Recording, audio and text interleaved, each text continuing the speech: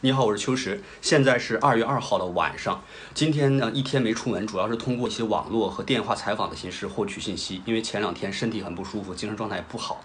呃，今天感觉还不错，量了体温，一直没有发烧。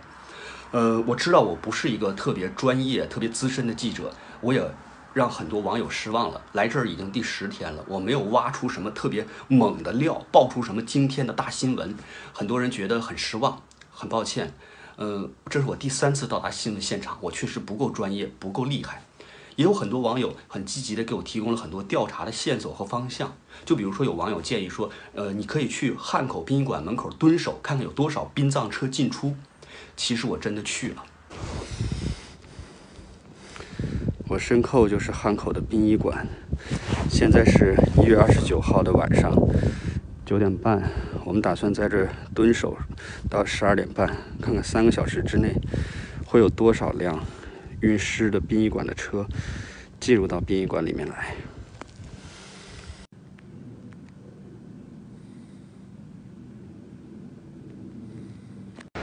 现在是一月三十一号晚上八点钟，我在金银潭医院的门口，我们来看一下有多少的救护车和殡葬车进出。晚上八点半，金银潭医院的两栋住院楼，所有的灯都亮着，或许可以理解为是住满的。刚才听门口一个志愿者说，这里面大概住了六百名确诊的患者，全市七所定点医院加起来一共大概有三千张床位，基本全都住满了。现在是一月三十一号晚上。九点零四，我们又来到了武汉汉口殡仪馆的门口，在等，看有多少辆车会从这里经过。现在是一月三十一号的晚上十点，在过去的一个小时里面，我们看见了有一辆殡葬车、一辆白色面包车和一辆 SUV 进入到了殡仪馆里面。在上一次二十九号来的时候，只有殡仪馆的车来回跑，但现在开始出现了。SUV 和面包车，我不能确定这些车，呃，是不是用来临时增援运尸体的。从刚才的视频里面，我们可以看到，我蹲守了两次，一月二十九号一次，一月三十一号一次。第二次蹲守的收获不大，但是一月二十九号这次的蹲守，一个半小时看到四辆殡葬车的进出，四进四出。当时的殡仪馆是二十四小时进行轮班工作的。如果一个半小时进去四辆殡葬车的话，一天二十四小时会进去多少辆车？大家可以自己估算。但是，一辆车里边到底运多少具尸体，这个我是没有办法确定的。但是在昨天，方斌先生，武汉当地的一个公民记者，他在武汉第五人民医院拍到了一辆中巴车里面运送八具尸体的视频，这也是另外一个间接证据。我说了，我作为中国大陆的人，我没有足够的证据，我绝对不敢去质疑官方所提供的数据和线索。我们学法律的跟学新闻的都一样，都讲究以事实为依据，没有事实、没有证据，不敢乱说话。所以我把许多的碎片化的证据提供在你面前，帮助你去拼凑那个真相。本来呢，那个在殡仪馆前蹲守的视频，我是想过一段时间再发布，因为我也想像暗访记者一样，调查出足够多的信息，挖到真正的大新闻以后再发布。但是为什么这么急切的要发布出来呢？有两个原因，一个是在一月三十号之前，武汉市只有汉口殡仪馆负责火化那些呃肺炎感染的死难者，但是一月三十号以后。不止汉口殡仪馆，其他的殡仪馆也负责火化那些肺炎感染者，所以继续蹲守在汉口殡仪馆门前已经没有意义了。这是一方面，另外一方面就是昨天方斌先生的遭遇，他因为白天拍摄了这个尸体的这个视频，包括发表了一些自己的观点，当天晚上七点多，警察就找上门了，而且还是乔装改扮，谎称自己是防疫站的人，骗开了他的门，把他强行带走。方斌先生很警觉，第一时间把被警察带走的这个视频马上发到了微信群里。于是我们快速的，所有的朋友积极的进行网络上的声援，把它传播到 Twitter 上、YouTube 上，形成一个网络的舆论的影响。方斌先生自己也感觉到，他在派出所待到。凌晨十二点钟左右，这个警察和国宝对他的态度语气明显就缓和了，只是训诫他、批评教育他，你不可以再发布这样的信息，你在传播负能量，只能有一个声音，其他人不可以再传播这种没有权利传播疫情的消息，然后就放他走了。只不过呢，抓他那个派出所离他家特别远，大半夜的他只能骑个共享单车，骑了三个小时才回到家。早晨凌晨五点钟，方斌先生到家以后就积极编了一个视频传到微信群里，跟大家报平安。昨天晚上他一宿没睡，今天一天他也没睡，因为他不停的要回电话、回信息来给自己的身边的亲戚朋友们报平安。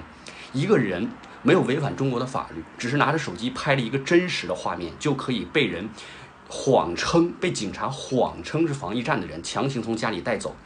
如果不是网络声援，他能不能回来，这都是个问题。而且带走他的理由是你接触过感染者，所以我们可以隔离你。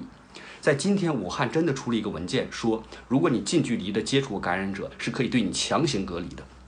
所以今天方斌先生依然非常紧张，依然非常恐惧，他依然在提醒我们，武汉人民要自觉、自省、自救、互助，不然的话，随时有可能会被强制隔离。呃，他还不停的跟我们说，他的身体很好，他每天的量体温，他没问题。所以接下来会发生什么也不知道。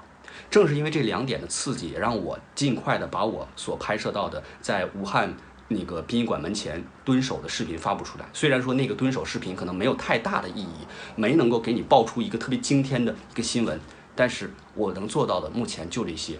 我也不知道我哪天会像方斌先生一样就莫名其妙被带走了。我知道很多人在质疑，为什么方斌被抓，为什么你陈秋实没被抓？是啊，我怎么解释为什么我没被抓？而你为什么总盼着我被抓？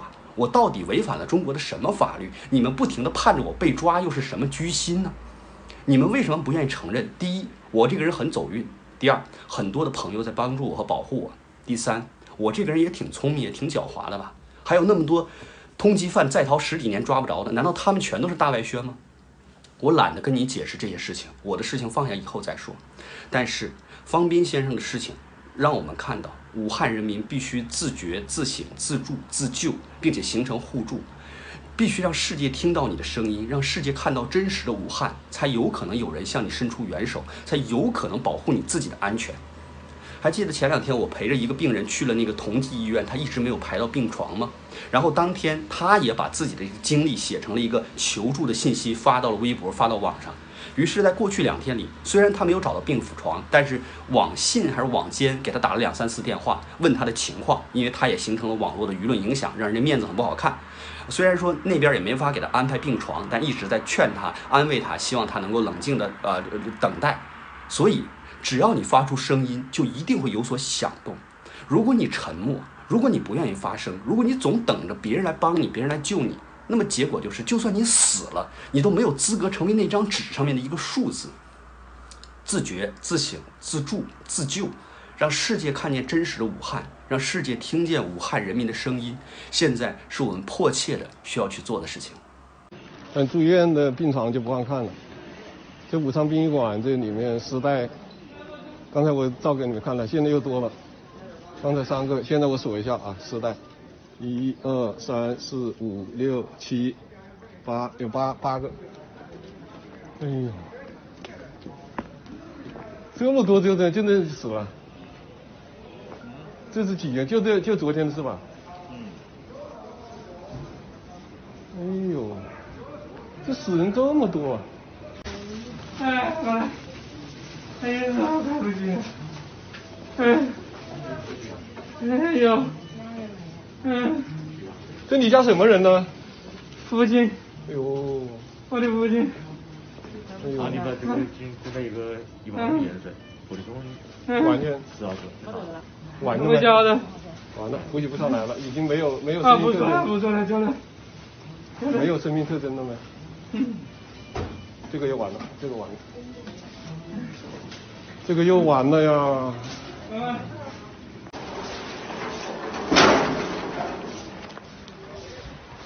怎么还有？里面还有尸体吗？还有啊，这么多！哎呦，这家伙这也太多了呀，家伙，还在搬，这尸体还在搬。哎呦，这里是方斌的家里。昨天晚上出现了汉阳派出所的人冒充那个疾控中心的，闯入方斌家之后。我们对方斌的家里不是很清楚，现在过来采访一下方斌。首先是我，呃，代表那个武汉的热心的网友啊，来给你，因为你经常出去到那个各个各个医院去，哎，给你带了一些消毒液和那个三 M 口罩，带了一盒，因为你经常去医院嘛，经常去医院，啊，因为这个是对你的一个小小的慰问，因为也没别的东西，就是因为你昨天那个事情呢，我们在想大概了解一下他那个他这几个人他是怎么样，说是防防控中心的怎么把你门打开的？他这样的，嗯。就昨天他敲门嘛，嗯。当他们敲门，我一听他敲门，哎，我说怎么这个时候还有人敲门呢？知道吧？嗯。然后我就留心一点，我就把这个窗打开，嗯。一看他就在里面，嗯。在外面七八个人，全都是防护的嘛。嗯。好，一看以后我就开始跟他录了，我一想这个他肯定要找我走，我就跟他录，知道吧？嗯。录了两段以后呢，我就把这一关，关他他在外面拉我不知道，知道吧？嗯。然后我就像反锁他，我就像这个这样反锁他，嗯。结果一反锁手这个碰动了这一点点，啊。他就一下打开了。因为我觉得拿下来反锁是锁这个位置，因为啊我黑嘛，啊。我！想反锁他，结果一下打开了，打开了这个事情就那一下就把我给抓了。哦，就正好你正好把那个手机上传，就正好点上去了是吧？哎，正好点上就照下来。啊，原来是这样是吧？昨天晚上他们有没有怎么样对你有特别的呃问话，或者是有什么说了什么没有嘞？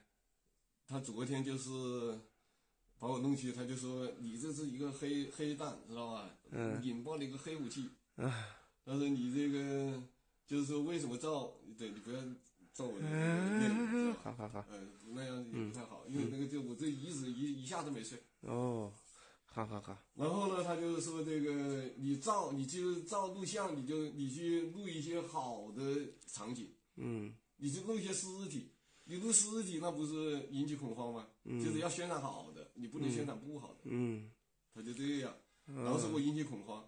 哦。第二呢，他就一定要找到我说，肯定是外国人给我钱了，我才会嗯冒着生命的危险去。哦，他就这样说。他就这样说，他就是要诋毁你，要黑你？呃，他就是他就要找他把我的手机电脑，把两台电脑，一个手机一个电脑都拿走了。